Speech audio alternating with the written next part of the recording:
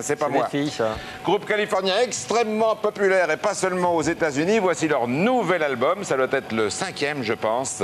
Beauty Process. Et vous allez voir petit aperçu de leur rock avec Drama. L7.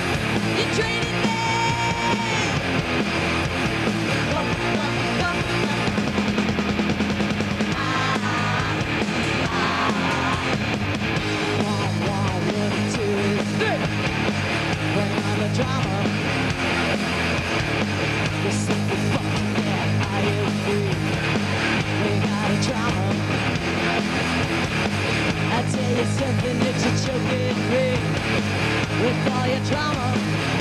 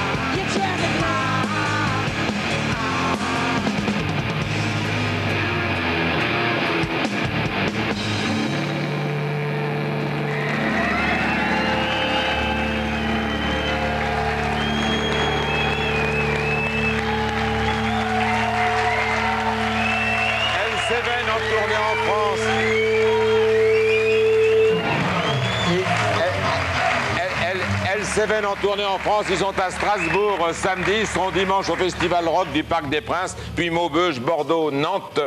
L7. Demain soir, tiens, juste un mot pour vous dire